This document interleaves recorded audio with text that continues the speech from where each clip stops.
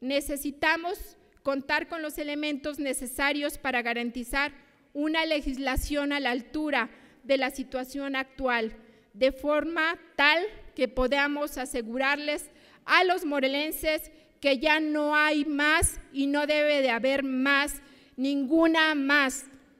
Ya no queremos más casos como el de Azochiapan, en donde se desarticuló una banda de trata de personas y explotación sexual, el cual tenía retenidas a niñas y mujeres jóvenes provenientes de los estados de Oaxaca y de Chiapas.